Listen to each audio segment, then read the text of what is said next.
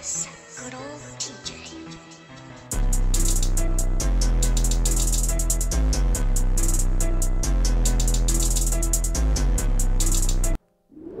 Konnichiwa, Neil Squatch playing Gog. Back with another reaction video. And today, for you guys, we are doing a video called Fate Strange Fake, a servant that surpasses Gilgamesh, True Archer, Hercules Power Breakdown. So yes, guys, this is only a seven minute and 15 minute video. Uh, one of you guys actually recommended me to actually react to this video. Like I said, you guys want me to react to any of the videos, leave in the comments down below. Let me know what you guys want me to react to next. I would definitely get around to doing it sometime during the week. Uh, so yeah, guys. Um, and if I'm being too low or uh, sound pretty weird, it's because it's currently it's currently 1:37 right now in the morning. So I'm trying to um record these videos, not be too loud and everything, cause you know family sleeping and everything like that. Um, and yeah, guys. So excuse me. So without further ado, guys, uh, let's just get right into it. So play. What's up everyone? This is K Collections and in this video I'll break down the powers and noble phantasms of True Archer from Fate Strange Fake. There will be some mild spoilers, nothing too big in terms of story though. To me nicely. For those who don't know what this is, basically Fate's Strange Fake is another storyline within the franchise. Long story short, you have humans being stupid. They cheated the system of the Holy Grail War, summoning more than the traditional seven servants. Humans being stupid. class. It's kind of Mm. like Fate Apocrypha, where you have two servants within the same class. In this case, it's known as true and false servants, with the exception True of and Saber, false who servants. happens to be a pretty badass character. But unlike Apocrypha, there are no factions, so it's basically a free-for-all battle. But you can make alliances or just kill everyone you see. It's a lot more complex, but I won't waste time talking about the story. Oh yeah, these two are in it. And when they fight against each other, holy crap, it's awesome. So Gilgamesh is known as False Archer.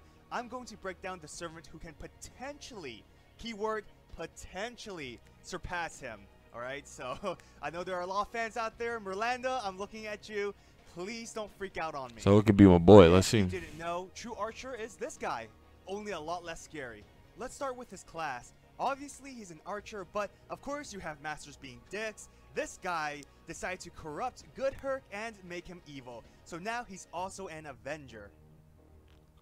So he's two classes in one. Herc actually surpasses Gil in strength. A B A A A. Dang, he is honor. Gil being strong. awesome, has Only that sucks. Oh well, quote unquote sucks is endurance. Breaking down his abilities, I have to first mention that this Herc no longer has God Hand due to losing his divinity thanks to his master corrupting him. So, no 12 lives, but that doesn't mean he's weaker. Instead, True Archer can now use more powerful noble phantasms, known as King's Order 12 Glories. So, King's Order are 12 noble phantasms, one for each labor, as proof of his accomplishments. So far, only four has been revealed. The first labor, Pelt of the Divine Beast, was the skin of the Nemean lion, which was then created as a cloth that he would wear over his face. This noble phantasm means he cannot be hurt with weapons made by humans. Wow, that's kind of busted. Berserker Herc was unaffected by B rank or lower weapons. Gilgamesh even said that only the finest of weapons can kill him. But True Archer cannot be harmed by any weapons made by human, regardless of power or quality. This nullifies almost all weapons within the gates of Babylon. Not even Wow. attack can work. Only weapons Now it makes sense why it didn't affect him. Herc even said that Gil That's broken. That's OD. just to stand a chance against him. Of course, Gil being Gil, he doesn't use it. Karna's Vasavi Shakti can also be effective as well, as it is a spear given to him by the thunder god Indra. So the second through fifth labor was never shown, but his sixth noble phantasm, called the Stymphalian Birds, allows him to summon several gigantic birds to battle. If you play JRPG games, you know how awesome summons are. Skipping to his ninth noble phantasm, the war Yeah, we're just skipping all around, aren't we? Sash. This allows True Archer to use divine energy to strengthen his attacks, making them a lot more powerful. Think of this as an insane power-up. However, he hasn't truly used this Noble Phantasm to its max potential.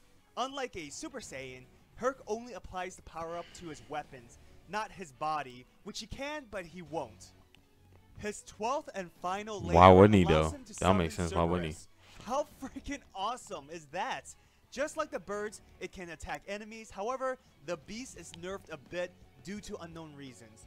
Nonetheless, Summon a Cerberus, okay. monsters. As I mentioned before, only these four noble phantasms have been revealed. The other eight, I assume, is just as powerful. But that's not all. He still has more noble phantasms unrelated to the 12 labors. Before I talk about that, I'm sure some of you were wondering if the Chains of Heaven can defeat Herc. In this case, no. As you recall, I mentioned that this version His is divinity is gone. Right. divinity. The Divinity chain is gone, so he weapon, doesn't even work on against something like that. Especially if Herc decides to go Super Saiyan. He also has battle continuation, which allows him to fight even when receiving mortal wounds. On top of that, he can shoot arrows 20 kilometers away at the speed of sound. It's even possible for him to shoot weapons away from the gates of Babylon. One of True Archer's strongest noble phantasm would be his 9 lives shooting the 100 heads attack. This attack is universal to all his different classes, but being an archer, he can use it to its true potential. The attack was used to instantly kill all 100 heads of the Hydra. Each class has its own version of attack. For example, his Saber and Berserker performs up to 100 fast slashing attacks that are almost simultaneous. Goodness. Kind of like Kojiro's Swallow Reversal attack. As an archer, he can shoot consecutive laser-like arrows that acts like a homing missile. Because Herc is also an Avenger class servant, the final noble phantasm that has been revealed is known as Reincarnation Pandora, usurper of the celestial wind. This allows him to steal other servants' noble phantasms. The extent of what he can take is still unknown. However, spoilers! When he fought Jack the Ripper, not the lolly one, a different one, Herc was able to steal Jack's noble phantasm, known as From Hell, which transforms himself into a demon. And Herc Goodness. just stole it, transforming himself. So he just basically just pickpocketed that ability. Like, At hey, the end of the day, boop. is he stronger than Gilgamesh? Possibly. So far, Gil can use Ea, but remember, there are still eight more noble phantasms that hasn't been revealed for True Archer. And a bit of spoilers. And when they fought against each other, Herc actually called Gilgamesh weak. Can you imagine how pissed off Gil would be? Special thanks to all my patrons for supporting wow, Fate, Strange Fake, a fairy that surpasses Gilgamesh, True Archer, Hercules, Power Reveal, Breakdown. Wow. So he lost his divinity, but it's not like he it's not like losing his divinity and everything like that. It's like he got stronger than getting weaker, right? Or am I just tripping, guys? Let me know in the comments down below. What you guys think? Do you guys think that this true archer version of Hercules is stronger, or do you think the version from Unlimited Blade Works is stronger? Let me know in the comments down below. So without further ado, guys, uh, like, subscribe, uh, like, share, and subscribe on the video. Hit the bell notification. Make sure you click all. So no matter time I make a future upload, go ahead and follow the Facebook page and go and give that uh, Twitch page a follow. We want to check them out. Peace.